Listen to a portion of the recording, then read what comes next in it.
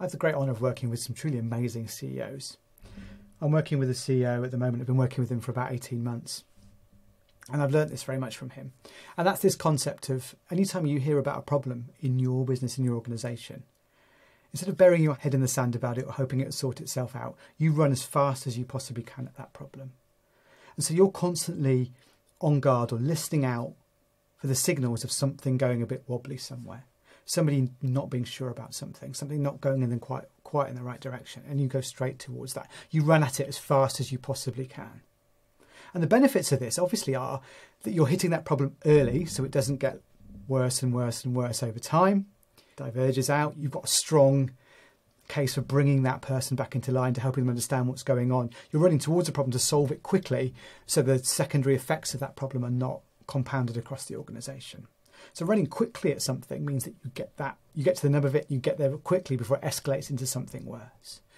And the side benefit of that obviously is then you don't it's unlikely you're unlikely to uncover as many larger problems later on. That problem where you've sort of buried your head in the sand because this person isn't doing particularly well or doesn't seem to get what's going on or understand where you need to be. Somebody's not performing at a particular level. You think, oh, it'll be okay. We'll deal with that at the next annual review all of that stuff means that the longer you leave something, the worse that problem can get, and the harder it is to correct once it's there.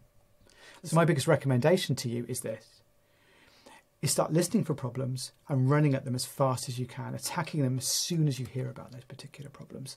Future you will thank you for it.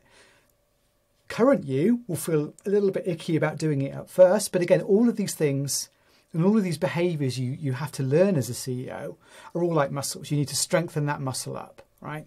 And running and problem solving muscle is something that you need to strengthen up. That, that getting over that feeling of awkwardness and just getting straight to the problem very, very quickly, the more you do it, the less of that icky feeling will be there anyway. And it'll become a natural behavior for you. And equally as well, what's also interesting about that, as soon as you start doing that, you start to lead by example and you see other people in your organization doing exactly the same thing. So again, run as fast as you can towards the problem and you'll thank me for it later.